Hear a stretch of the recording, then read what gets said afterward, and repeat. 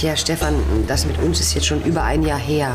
Und ich wollte dir die ganze Zeit schon was sagen. Susanne, du bist bestimmt sauer auf mich. Und ich kann das auch voll verstehen. Nein, ich möchte. Ah, du Arme, du warst sicherlich total fertig. Immerhin war ich mit Gabi zusammen, bevor ich mit dir Schluss gemacht habe. Und Gabi. Ist meine Schwester, ja, ja. Aber äh, was ich dir eigentlich sagen will. Stefan, du musst dir keine Gedanken mehr machen. Ich, ich habe jetzt einen Weg gefunden, um über die Sache wegzukommen. Ach ja?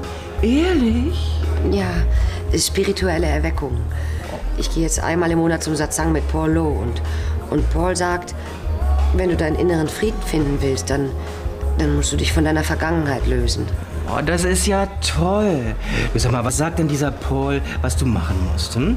Yoga oder meditieren? Hm? Genau. Meditieren und Yoga. gut. Und, äh, und dir Arschloch mal so richtig Eis in die Fresse hauen.